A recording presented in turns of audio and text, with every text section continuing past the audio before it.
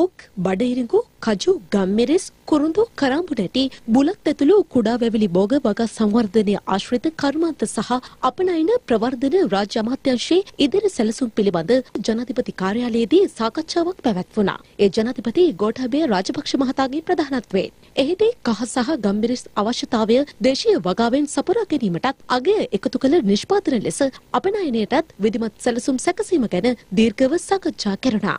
කහ සහ ගම්මිරිස් සඳහා ස්ථාවර මිලක් ලබා දී වගකරුවන් රැකගත යුතු බවයි ජනාධිපති ගෝඨාභය රාජපක්ෂ මහතා එහිදී අවධාරණය කළේ. කහ සහ ගම්මිරිස් වගකරුවන් ආරක්ෂා කිරීමට එම භෝගය ආනයනය සම්පූර්ණයෙන්ම නතර කෙරුණා. අන්තර්ජාතිකව වෙළඳපොළ සොයා වැඩි අපනයනයක් මගින් උපරිම මිලක් ඉපැයීමට අවශ්‍ය පරිසරය සැකසීමේ අවශ්‍යතාවද ජනාධිපතිතුමා පෙන්වා දුන්නා.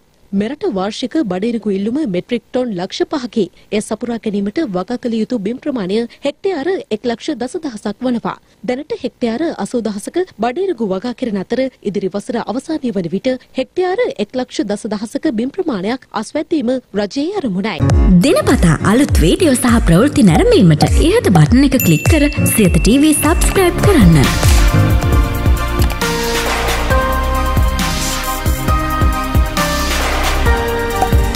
අලුත් වීඩියෝ ගැන මුලින්ම දැනගන්න මෙම සීනුව කලික් කරන්න.